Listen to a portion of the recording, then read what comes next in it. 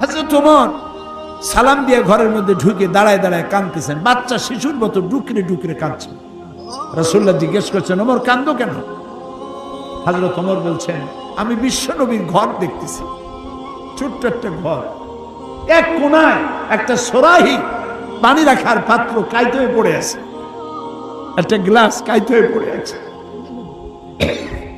আর এক কোনায় এক কেজি কি আধা কেজি জল পড়ে আছে। আর রসুল শুয়ে আছেন। দড়ি দিয়া বুনানো একটা খাটিয়ার উপরে, চাদর নাই, বালিশ নাই। হাত মোবারক মাথার তলে দিয়ে শুয়ে আছে। পিঠ দড়ির দাগ কেটে আছে। হাজরত বলছেন, ইয়া রাসূলুল্লাহ, আমি তো বরদাস্ত করতে পারছি না। বিশ্বনবী তার পিঠে দড়ির দাগ। জীবনের সর্বশেষ যে কাজটা কথাটা বলেছিলেন, সেটা ছিল কি? এতেকালের পাঁচ দিন আগে প্রচণ্ড জ্বর হলো, মাথায় যন্ত্রণা হলো, বারবার বেহুশ হয়ে পড়েন। যে রাত্রে ইন্তেকাল করবেন, সেই রাত্রে সাহাবায়ে কেরাম কেউ ঘরে ফেরে নাই।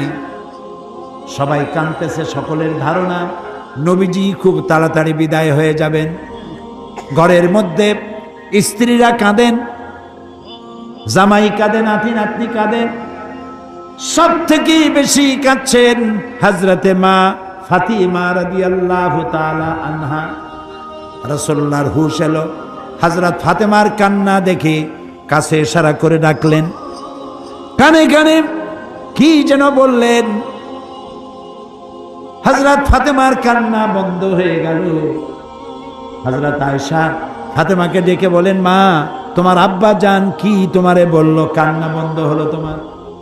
হযরত ফাতেমা বলেন, মা, আমার আব্বা জান আমাকে কানে কানে বললেন, মা, কাঁদিস না, তোর কান্না আমার বরদাস্ত হয় না। আমি তোমাকে সুসংবাদ শোনাই, আমি মরে যাওয়ার পর সবার আগে তোমার সাথে আমার দেখা হয়ে যাবে। হজরত ফাতেমা বুঝতে পেরেছেন এর অর্থ হল, রসুলের ইন্তেকালের পরে আত্মীয় স্বজনের ভিতরে সর্বপ্রথম ফাতেমার ইন্তেকাল হবে। হয়েছিল তাই। রসুল্লাহ বেহুশ হয়ে পড়লেন, আবার হুশ হলো, আবার বেহুশ হলেন। হজরের পরে হজরত জিব্রাইল এসে বলছেন, আসসালামু আলাইকা ইয়া রাসূল আল্লাহ হে আল্লাহ রসুল, আল্লাহ আপনাকে সালাম বলেছেন। আর তিনি জানতে চেয়েছেন, আপনি কেমন আছেন? তিনি জানেন, আপনি কেমন আছেন? তারপরেও তিনি জানতে চেয়েছেন, আপনার মুখে আপনি কেমন আছেন? নবীজি বললেন, আমি বড়ই কষ্টের ভিতরে আছি, অসুস্থ আছি। হাজরাতে জিব্রাইল বলছেন, ইয়া রাসূল আল্লাহ একজন নতুন ফেরেশতা এসেছে আজ আমার সাথে। যে ফেরেশতা কোনো মানুষের কাছে আসার জন্য অনুমতি কোনো দিন চায় নাই, আর কোনোদিন চাবেও না। শুধু আপনার অনুমতি চায় আপনার কাছে আসার জন্য। সে ফেরেশতার নাম মালাকুল মউত। হজরতে মালাকুল মউত রাসূলের অনুমতি নিয়ে রাসূলের জাসাদ মুবারকের কাছে এসে সালাম পেশ করলেন। বললেন, ইয়া রাসূল আল্লাহ আদম আলাইহিস সালাম থেকে নিয়ে শুরু করে এই পর্যন্ত আমি যত মানুষের যান কবজ করেছি, আর কেয়ামত পর্যন্ত যত মানুষের যান কবজ করব, কারও কাছে অনুমতি চাই নাই, অনুমতি চাওয়াও আমার লাগবে না। কিন্তু আজকে আসার সময় আল্লাহ রব্বুল আলামিন আমাকে বলেছেন, আমি যেন আপনার অনুমতি চাই।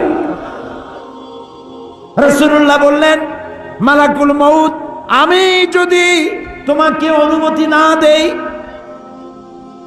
হজরতে মালাকুল মউত বলেন, ইয়া রসুল আল্লাহ আল্লাহ তালা বলেছেন, অনুমতি যদি না পাও, ফিরে এসো। আল্লাহ আল্লাহ হজরতে জিব্রাইল বলেন, ইয়া রসুল আল্লাহ আল্লাহ রব্বুল আলমিন আপনার সঙ্গে দিদারের ইন্তজার করতেছেন। নবী বললেন, মালাকুল মৌত তুমি তোমার কাজ শুরু করতে পারো।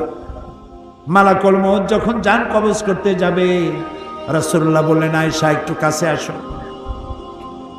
ওই যে সোনা ছিল কয়েক টুকরা, সোনাগুলোর খবর কি? ছয় টুকরা, ছোট্ট ছোট্ট ছয়টা টুকরা সোনা ছিল। সোনাগুলো কই? হজরত আয়সা বলেন, আমি তার যত্ন করে রেখেছি। নবীজি বলছেন, এক্ষুনি স্বর্ণ টুকরাগুলি সৎকা করে দাও। আমি মোহাম্মদ আলাইহি সাল্লাম আল্লাহর দরবারে এই অবস্থায় উপনীত হতে চাই না যে মোহাম্মদের ঘরের ভিতরে সোনা আছে। হজরত ওমর তাআলা আনহু রাসূলের সঙ্গে দেখা করতে গেছিলেন একদিন। ঘরে মায়েশা ছিলেন। হজরত ওমর সালাম দিয়ে ঘরের মধ্যে ঢুকে দাঁড়ায় দাঁড়ায় কাঁদতেছেন। বাচ্চা শিশুর মতো ডুকরে ডুকরে কাঁদছে। রসুল্লাহ জিজ্ঞেস করছেন, ওমর, কান্দো কেন? হাজরত ওমর বলছেন, আমি বিশ্বনবীর ঘর দেখতেছি। ছোট্ট একটা ঘর। এক কোনায় একটা সরাহি পানি রাখার পাত্র কাইত হয়ে পড়ে আছে। একটা গ্লাস কাইত হয়ে পড়ে আছে। আর এক কোনায় এক কেজি কি আধা কেজি জল পড়ে আছে। আর রসুল শুয়ে আছেন। দড়ি দিয়া বুনানো একটা খাটিয়ার উপরে চাদর নাই, বালিশ নাই। হাত মোবারক মাথার তলে দিয়ে শুয়ে আছে। পিঠ মুবারকের দড়ির দাগ কেটে আছে। হাজরত বলছেন, ইয়া রাসূলুল্লাহ, আমি তো বরদাস্ত করতে পারছি না। বিশ্বনবী, তার পিঠে দড়ির দাগ। পানির পাত্র কাইট হয়ে পড়ে আছে, খাট নাই, বালিশ নাই। আপনি আমাকে অনুমতি দেন। আমি আপনার জন্য একটা তুসুক বানাই নিয়ে আসি রাসুল্লাহ বললেন, ওমর, আমি তো দুনিয়ায় শান্তি করতে আসি নাই। আমি যদি ওহদ পাহাড়কে বলি, ওহদ আমার জন্য সোনায় পরিণত হয়ে যা, ওহদ পাহাড়টাই সোনা হয়ে যাবে। শান্তি করতে আসি না নবীজি বললেন আয়সারে সোনাগুলি বিতরণ করে দাও সৎকা করে দাও। মালাকুল মতকে বললেন, তুমি তোমার কাম সারো। যান কবর শুরু হয়ে গেল। নবীজি জীবনের শেষ কথা মুখ থেকে উচ্চারিত হলো, আসসালাত আসসালাত, ওমা মালাকাত ও আমার উম্মতেরা, নামাজ নামাজ। ইন্তেকালের সময় মেয়ের কথা বললেন না, নাতির কথা বললেন না জামাইয়ের কথা বললেন না। উম্মতকে স্মরণ করালেন। ও আমার উম্মতেরা, নামাজ ছেড়ে দিও না।